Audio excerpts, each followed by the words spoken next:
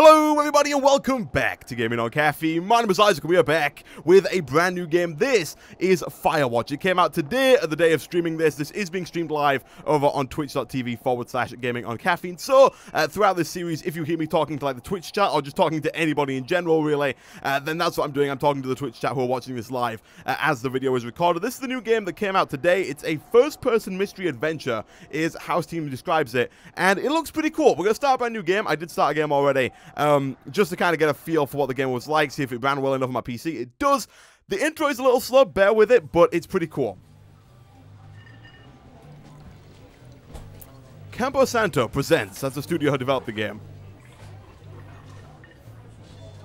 In cooperation with Panic Inc.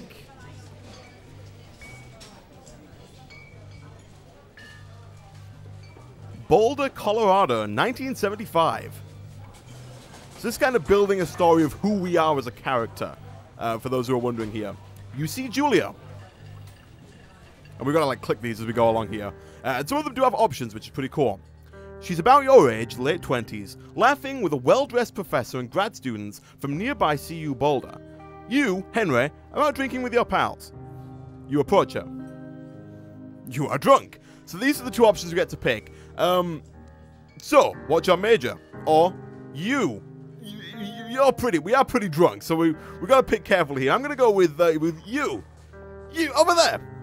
You're pretty. You're pretty. She says coolly. You are not. You are future. You're a future hangover. What? You replied confused. Someone should buy you a cheeseburger. She says. She flags down a waiter, and one week later, you are Julia's boyfriend. Okay. And then between the uh, the texts here are a few little like glimpses of gameplay. So this is those. We can use the left mouse button to pick stuff up. We got a backpack over here. And the music is very subtle, but it's it, it it's really I feel like something bad's gonna happen, like right from the get-go with this music. I don't know if you can hear it uh, all too loudly, but it's very slow. It's very like mellow. It's very atmospheric. I love it. You date for over a year. She drives you absolutely nuts. It's great. You move in. You share an apartment near the school with a view of the mountains. You two drink beers out on the deck. You drink beer just about anywhere. Life is good. Julia wants to get a dog. There's a scruffy, undersized beagle. Julia is in love. She wants to bring it home with her. To, uh, she wants to bring it with her to class. There's also an intimidating but gentle-eyed German Shepherd. Nothing bad could happen to Julia while walking this dog. It's badass. So I've no idea what happens, like if there's any repercussions to which of these two options you pick or any of the options you pick during the intro dialogue or if it's just kind of uh, setting the scene and getting you invested in the characters here. But I'm going to go with uh, you. You pick up the Beagle Eye and she names it Bucket because Bucket is just a fantastic name for a dog. Bucket's a good dog. And a week later, you've totally forgotten about the other one. Julia loves him. You love him too. 1979. You talk out on the deck. It's summer, 9:30 p.m., and the heat still radiates off the high, the high desert. What do you think about kids? She asks. Kids? They're not very smart or good at much, really. Uh, I'm saying if you if you and I have some, a couple of little idiots, that would be good. Or one day, why rush? We should. That would be pretty good. Julia seems like a nice kind of person.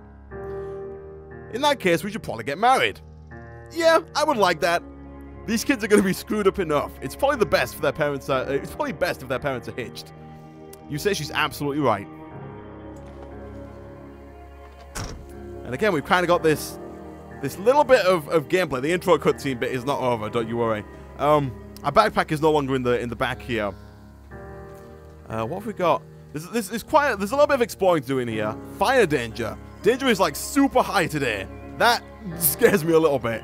What have we got over here? We've got like a, a, a, a sign. Thorofare Trail Land. We've got a map. Do not forget to check in. No fireworks. Strictly no fireworks. It's red and everything. Thorofare Trail is not recommended for inexperienced hikers.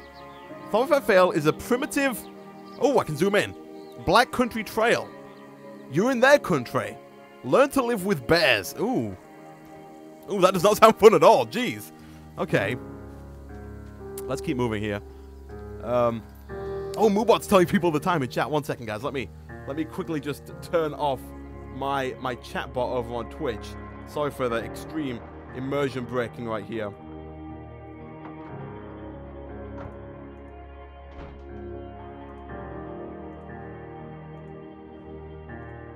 Okay, 1980. It's a Thursday night and Julia is in four hours late. She doesn't. Oh, she's four hours late. She hasn't returned home yet. She doesn't call you. You're worried and getting angrier by the minute. She walks in after you've gone to bed. She's not quite drunk, but she's clearly been having a fun time. You fight when she gets between the sheets. You get mad or you ignore her. I don't think we should ignore her. That seems a little childish. We'll, we'll get mad. You call her an inconsiderate asshole. Also, before we continue, I should point out this game is meant for an adult audience. If you are below the age of, I'm not going to put an age on it, but I think the game might be a 15 or an 18. Uh, it does use some strong language. There are a lot of curse words in this game, uh, so if that's going to offend you in any way, you can click away now. Um, but it's, it's a pretty strong game. It's got some strong language. It's meant for an adult audience. Continue at your own discretion. Okay. She tells you to fuck yourself and not to be such a baby. You call her selfish. She knows you mean it, and it hurts her feelings. 1981. Julia still likes to draw. She draws plants from her research. She draws all the places you go. She draws you. You pose and flex like He-Man. You frolic like a Victoria's Secret model. I mean, why would we not frolic like a Victoria's Secret model? Julia was right. You are very pretty. Alright, we're still hiking along. And I must admit, like, right off the bat, this game is absolutely beautiful. Like, uh, if you're watching on Twitch, you probably might not get a full grasp of it. If you're watching on YouTube uh, at like 1080p, 60 FPS, this game looks absolutely fantastic. It looks brilliant. Uh, look, look at like the sun rays coming through there. The art style is like just right. I love it. I absolutely love it. Two Forks, Lookout Tower, eight miles more still. Okay, I believe we can jump over this. We can. And I believe we can also use R to sprint. We might have to try that a little bit later on down the line. Okay, 1982. During the summer, you and Julia enjoy walking Bucket at night. Bucket is our dog. There's a festival in town. It brings in folks from faraway places. One of them tries to mug you with a knife. Bucket gets kicked. Beep bah, fuck the dog, Julie says. She gets flustered and has trouble speaking when she's stressed. You confront the attacker. You scare him away. You beat the goddamn you beat his goddamn face in. I'm gonna scare him away. You reach into your pocket like you've got a gun and threaten to kill him. You manage to scare off all three. He runs away. Julia asks to take a different path from that day forward. You say okay. You don't want to go that way either. From then on, you walk by the river. 1984. Plans to have kids get waylaid by work. Julia gets offered a job at Yale. Yale is in Connecticut, 2,000 miles away. It's a great job, Associate Department Chair. She wants to move. You absolutely do not. Convince her not to take the job, or agree if she commutes back and forth. This is a tough option. Like, if it was me, I don't know what our job is. Like, from our position, I don't know what we do as a person. I'd be tempted to go with her if that was the case, unless we have like a really high, like super job that we can't leave, or something else keeping us where we are. But having a commute 2,000 miles, or just, I don't think convincing her to go is going to do well either. So I think we just have to agree if she commutes back and forth. You ask her if she'll commute back and forth. You don't want to move to Connecticut. She says that'll be hard, but she'll do it if you don't want to move. You tell her not to pass up the job if it's what she wants. She agrees. She flies back to Boulder three times each semester. 1985. Julia is sent home from Yale on paid leave after having an episode. She lost it on a she lost it on a colleague for borrowing books that were important to her research. She didn't remember she had happily loaned them to him just a few days prior. She was found crying in the stairwell. You say that maybe you guys should talk to somebody about it? You make you make a drink of wine and forget about it. Uh, I think it's probably a best idea if we talk about it with somebody if she's having a bit of a breakdown. After seeing multiple doctors and having many tests, they are worried that Julia might be suffering from early onset dementia. She is 41. You both decide to keep it a secret for now. This is the only option we have. And here we go. We're back in. We're kind of progressing through the day as we're telling the story, maybe rethinking it in our minds, something along those lines. We can't actually move right now. I think we might be sat down for the evening. Uh, but we have a journal. Uh, warning, you're about to see a, a naked picture. there we go. Uh, we, we, we frolicked like a Victoria's Secret model. No idea if I'm going to have to censor that out for, uh, for YouTube, but we'll see. Bucket is getting older. Bucket's our dog. Julia comments that it's kind of nice because he gets less trouble around the house. A week later, she goes back to the university. Julia's affliction gets worse, 1987. She can't remember things in class, her research is in shambles, she drives her car to the next town over for no particular reason, and has to be brought home by the police. She is devastated. She is sent home on permanent medical leave. Some days you get the, Julia, the Julia who calls you a dope, and your unborn child children little idiots. Other days you get a stranger. She pulls you into bed to make love. After five minutes, she goes into a panic, believing her dad is at the door. You tell her family they are crushed and begin to make trips to and from their home in Australia to visit her. For a while, your friends come by with little things to brighten the day. She gets worse. 1988. You spend your days following Julia around the house. You count the seconds between the two weekly visits from Daniel, the nurse. He suggests that Julia could live somewhere else, somewhere with 24 hour care. A home.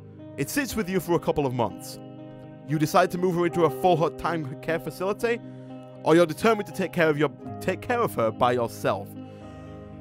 The, again, we've just started the game and it's full of tough decisions. I feel like we should take care of her by herself, but if we're if we're like looking forward to the, the, the, the visits from the nurse so much, maybe it's too much for us. I mean, I'll say we're determined.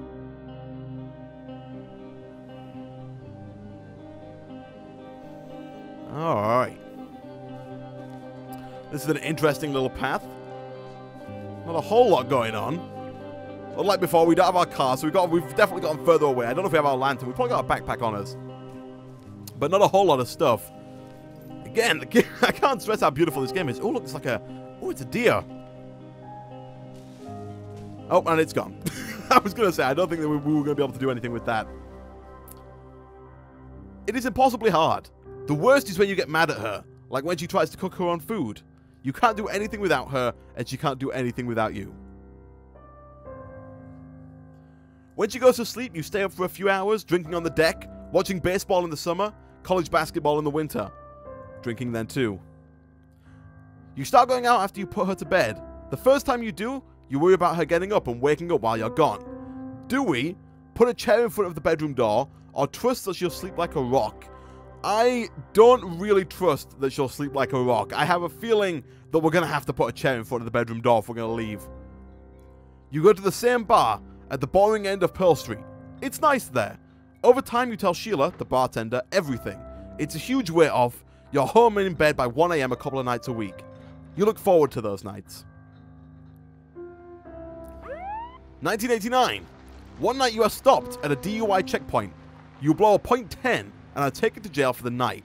You consider trying to hide it, but you tell your sister-in-law, Susan. So the she the wife's sister. Julie's parents take the next plane from Australia. They can't believe in the state of your house. They then tell you that Julia is coming to live with them. You don't argue, you'll say you'll visit soon. A few weeks go by, summer is coming, and you see an ad in the paper for a job. You take it. And that's the end of the intro prologue right there. That's the end of the story building. And that takes us to exactly where we are now, which is right here. And this is kind of where the bulk of the game comes in. So we're going to enter the lookout tower, and, and we're going to progress from there. Uh, so I believe we can hit R to run and sprint up to this to this lookout tower and find out what the heck all this is about. We've just done like a multiple day hike up to this place. We're living with bears, apparently and there's a, a high fire danger. Turn on the power. Alright, this is where we're going to be living, I assume. Um, Alright, generator switch on. Beautiful, look at this.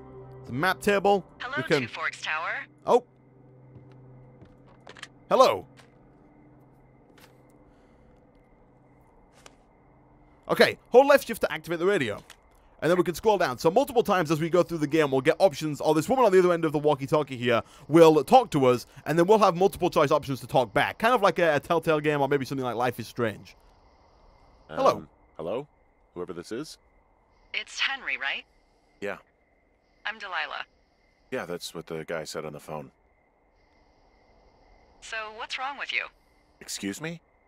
People take this job to get away from something. So, what's wrong? What's wrong with you? That's a great idea. Go ahead. Look, I just hiked for two days, so I don't really follow whatever it is you're doing right now. You take a stab at what's wrong with me. Fine, then can I like, sleep forever? Sure, buddy. Okay, now go ahead. Okay. Uh, you've killed three ex-husbands. You're rebelling against mom. Nobody back home can stand you. I think she's somebody who killed three ex-husbands. Okay, uh, you've killed three husbands. You're a black widow and you're just out here until the heat dies down and then you'll kill again. Ooh, very good. Bravo, Henry. Okay, I sleep now? Mm, Not quite. Now you. Okay, good night, bye. Let's see. I don't know anything about you. But maybe you just really like trees. Maybe it's. Gosh, maybe it's a borderline fetish. A tree fetish. She's onto us, guys. Good she night. knows about our tree fetish. Good night. Welcome to the job. Firewatch. This is our job now. Dear one. We're writing away. Good morning, Henry. Well, I guess good afternoon. you probably slept like a rock. Anyway, uh, there's still a few hours of daylight to get some work in. I can see you at your desk, so call me when you're ready. She can see me at my desk? Whoa, whoa, whoa, whoa. Answer the radio call? That's shift, right? Where's the radio? Oh, it's here. You- Well, I'm, I'm sorry. I guess I slept Hey. in. Sorry, guess I slept in. You got a relaxing, what, 14 Oh, sorry, guys. hours of sleep? Whew. Yeah, Jesus, I guess it's what, six?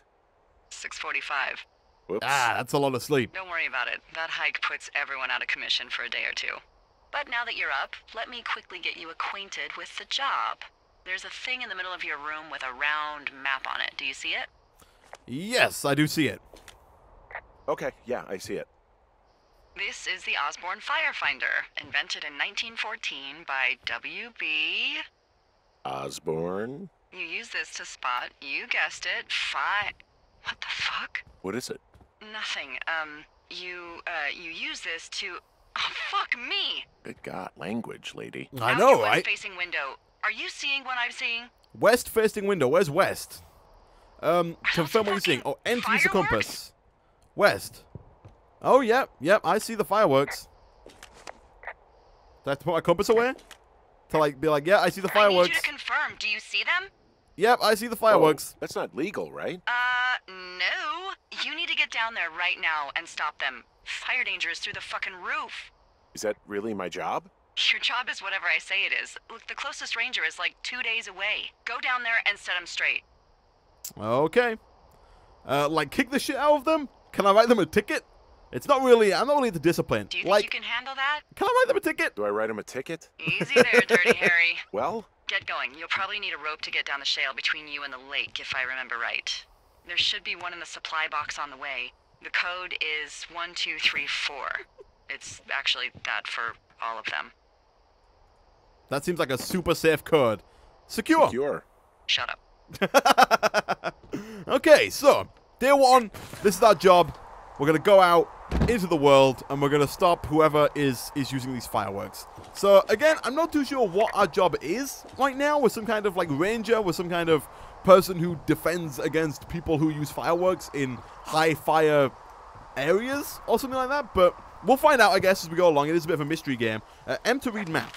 Okay, so this is our map. We've got to go uh, west, which is currently this way. Uh, find rope in the NSF cache box 306. Uh, okay, Jonesy, Jonesy Lake? We gotta go to Jonesy Lake. I assume that's this way. And I assume somewhere along the way we will find our. Oh, look. Oh, so we can zoom in on the map here. I see. I see. I see. Oh, and it even tells us where we are. That's that's one very high tech paper map right there. Uh, so the lake is. Is it this lake? I'm not too sure what lake we're going to here. There's a lake over there. Oh no, it's right at the end there. Jonesy Lake. It's quite a hike actually. Wow, okay. So I guess let's just head this way. There's no like... Wait, is there a box on the map? No, we've just come from that tower. We've just come from that tower, and we got to go find our way to to this lake and uh, find out who the heck is is doing stuff with the with the fireworks. So we're just gonna continue on west, I guess, for the time being, and see what we can do. She said we needed a rope. Is the rope like? Did we pass it? Let me let me get rid of my map for a second, and let's run. So R is to run. Did we did we like walk past the box that we were supposed to grab that was like at the base of the tower or something like that? Because I don't want to get to the point where we need the rope and then don't have the rope. So let me do a little bit of of exploration. It's a little bit of an open. I want. I don't want to say open world game. It's a somewhat linear game, but there are definitely like open world areas like this. Like, oh, what the heck? This looks like some kind of. Oh, we can reply back.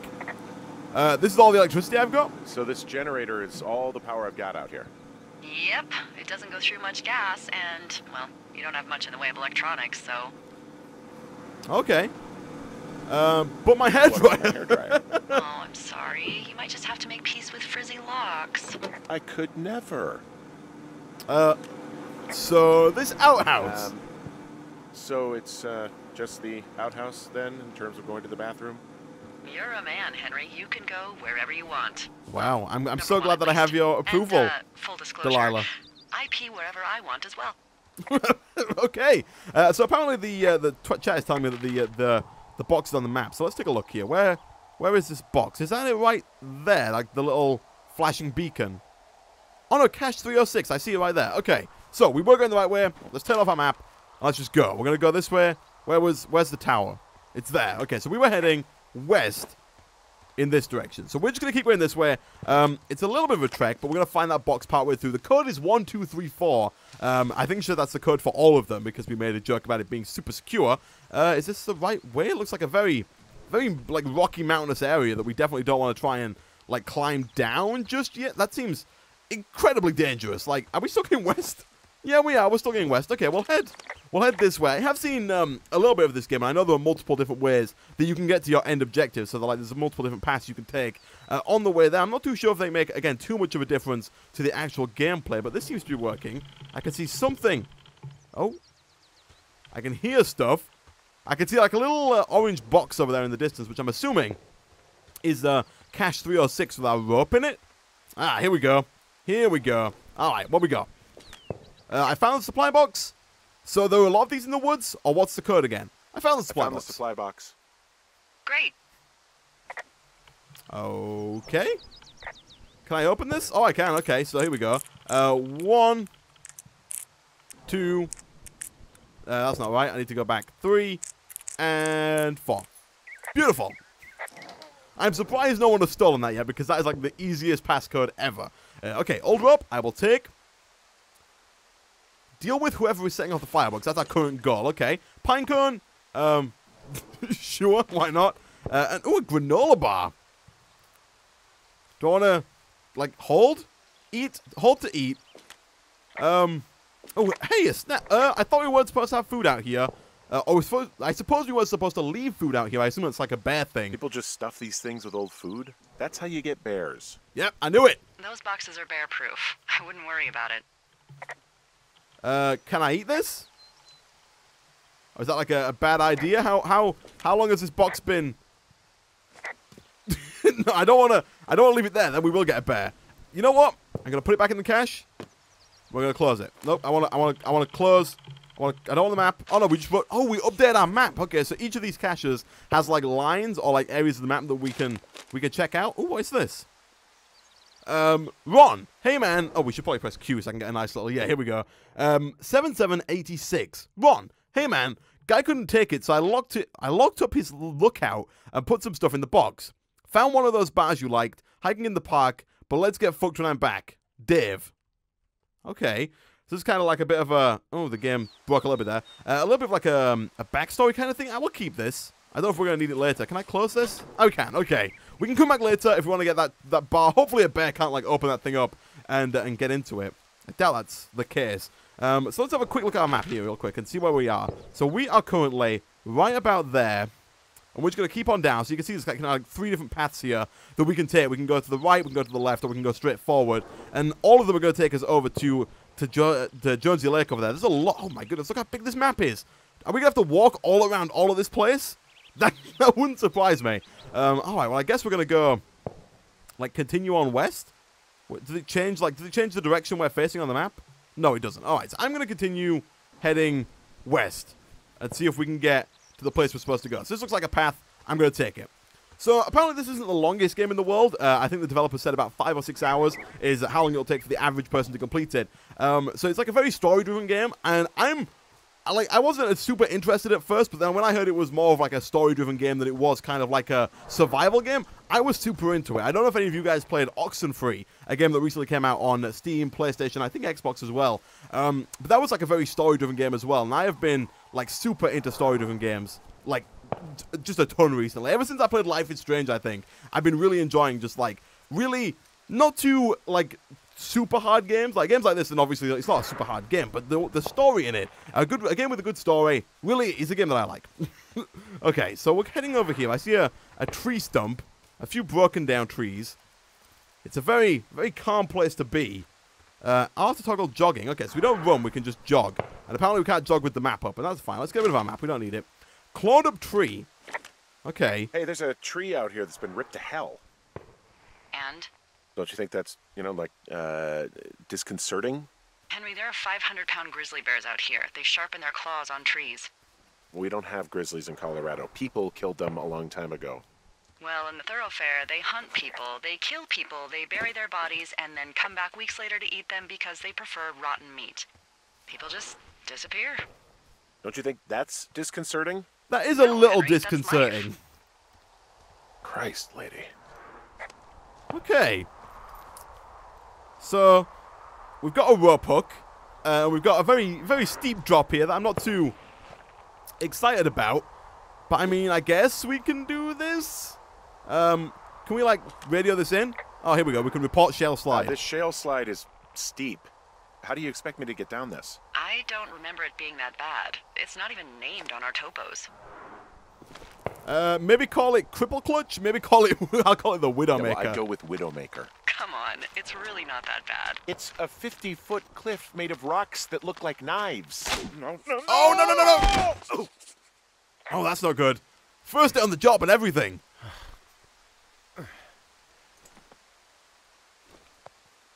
Oh, we still got our wedding ring on. That's a good sign. Ow! Hey, What the hell's wrong with you? Widowmaker got the best of me. What exactly happened? My rope snapped coming down the shale slide. You didn't break anything, did you? No, I think I'll make it. Well, be careful for Christ's sake. Uh, okay, so we've got another one of these. But we don't Hey, have a there's a tie-off point off here, just a little away from the shale slide. Well, you ready to get back on that horse, huh? Well, I can't go any further, is what I'm saying. That heads south down to the creek, but you should be able to get to the lake just by continuing west. Without any, you know, mountaineering. All right. It's a long summer. You can explore later. Okay. So we're gonna head on west, and apparently we're gonna like go, I guess, around and down instead of going directly down that cliff face. I don't know if we could have prevented that in any way, like if we could have found like a different cache that maybe had some more rope in it, uh, or something like that. But I guess for now we will just continue on this way and see if we can figure out who the heck is setting off fireworks. I guess this is not the correct way to go at all, so we'll just continue round. Did I just? I I feel like I saw something move there, but I might have just it might have been like a leaf or like a butterfly. I'm not too sure. Oh, look at this. Oh, look, someone's been here. Okay. I can hear music in the distance as well. They decided to have a Oh, campfire. look, they decided to have a campfire too. The idiots down at the lake? Yeah, them. I just found where they're hanging out.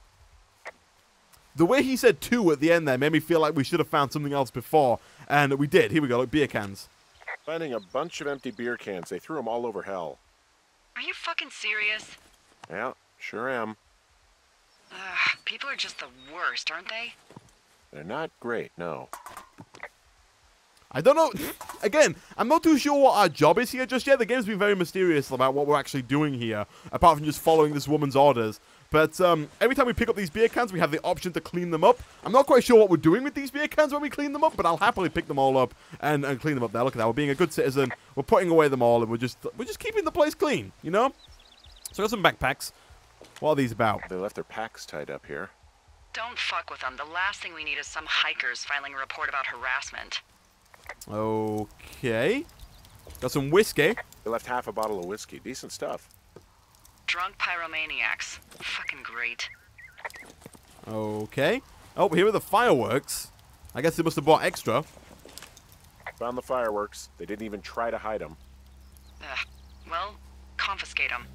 Okie doke. Um, and then we got clothes. Well, they left their clothes out to dry. It looks like uh, two people. Naked? Won't that be exciting?